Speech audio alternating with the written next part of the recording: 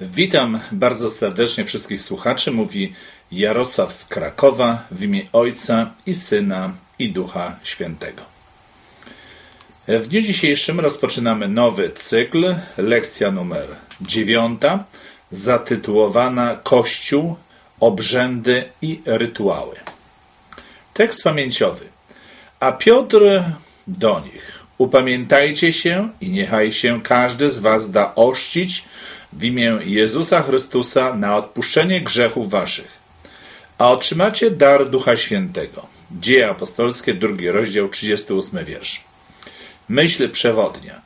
Bóg ustanowił obrzędy, które właściwie je rozumiane pomagają umocnić naszą wiarę. Wiele wspólnot ma swoje obrzędy inicjacyjne, nazywane także rytuałami przejścia. W niektórych kulturach rytuał przejścia został ustanowiony po to, by pomóc ludziom w przejściu od jednego etapu do drugiego. Na przykład rytuały związane z osiąganiem dorosłości odbywają się w wieku dojrzewania. Obrzędy te różnią się między sobą, ale wszystkie miały na celu takie ukształtowanie młodych, by stali się efektywnymi i odpowiedzialnymi członkami danej wspólnoty. W ramach przygotowania do rytuału e, przejścia młodzi ludzie byli uczeni obowiązków wiążących się z dorosłością, tego, czego będzie się od nich oczekiwać jako dojrzałych członków społeczeństwa.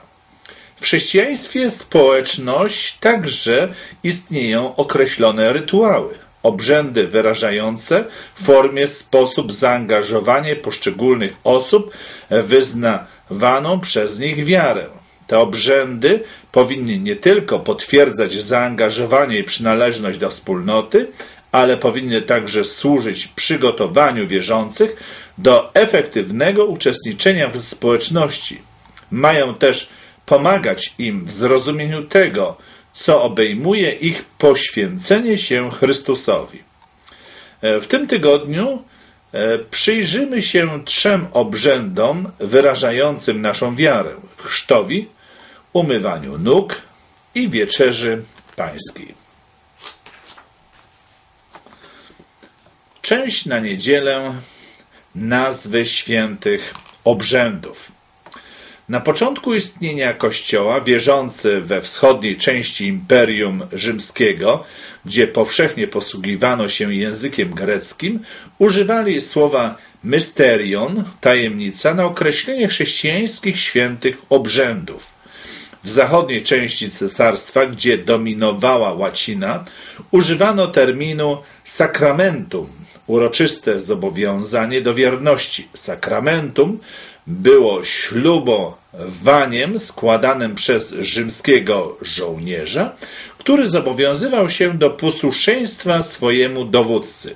Ci, którzy zastosowali to słowo, czuli się, że należycie oddaje ono charakter chrześcijańskich obrzędów.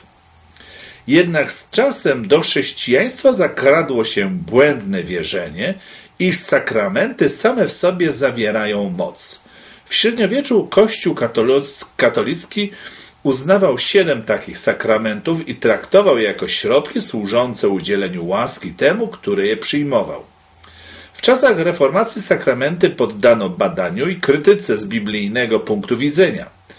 Wielu wtedy uważało, że termin sakrament budzi niewłaściwe skojarzenie. Uznano, że należy go zastąpić słowem ustanowienie.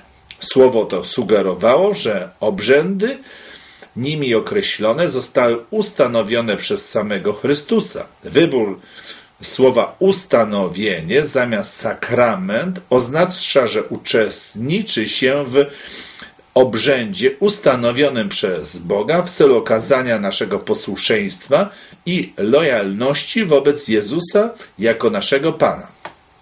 Adwentyści Dnia Siódmego praktykują obrzędy chrztu, umywania nóg i wieczerzy pańskiej jako wyraz naszej lojalności wobec Chrystusa. są one symbolicznym sposobem wyrażenia naszej wiary. Przeczytaj Ewangelia Mateusza, Jana, Koryntian. W jakim stopniu wersety te wspierają pogląd, iż święte obrzędy należy rozumieć jako ustanowienia. Ewangelia Mateusza, 28 rozdział, werset 19 i 20. Idźcie tedy i czyńcie uczniami wszystkie narody, chrzcząc je w imię Ojca i Syna i Ducha Świętego, ucząc je przestrzegać wszystkiego, co wam przykazałem. A oto ja jestem z wami po wszystkie dni, aż do skończenia świata. Ewangelia Jana, 13 rozdział i tam werset 14. Jeśli tedy ja, Pan i nauczyciel, umyłem nogi wasze i wy winniście sobie nawzajem umywać nogi. I pierwszy list do Koryntian, tam jedenasty rozdział i werset 23 do 26. Albowiem ja przyjąłem od Pana to, co wam przekazałem, że Pan Jezus tej nocy, której był wydany, wziął chleb, a podziękowawszy złamał i rzekł: Bierzcie, jedzcie, to jest ciało moje, za was wydane, to czyńcie na pamiątkę moją. Podobnie i kielich po wieczerzy, mówiąc: Ten kielich to nowe przymierze we krwi mojej to czyńcie, ilekroć pić będziecie na pamiątkę moją. Albowiem ilekroć ten chleb jecie, a z kielicha tego pijecie, śmierć pańską zwiastujcie, aż przyjdzie.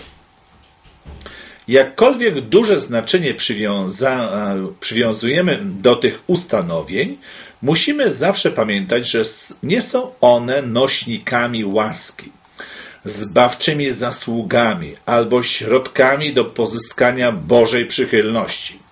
Grzech i to, co grzech z nami uczynił, jest zbyt poważną sprawą, by obrzędy, nawet ustanowione przez samego Chrystusa, mogły nas z tego wyzwolić. Jedynie śmierć Jezusa na krzyżu jest wystarczająca, by dokonać zbawienia istot tak upadłych jak my. Ustanowienia te jak je rozumiemy, są zewnętrznymi symbolami naszego uznania wszystkiego tego, czego Chrystus dokonał dla nas oraz naszej więzi z Nim i tego, co ta więź obejmuje. Obrzędy te dobrze spełniają swój cel. Są one środkami wiodącymi do celu, a nie celem samym w sobie. Dziękuję.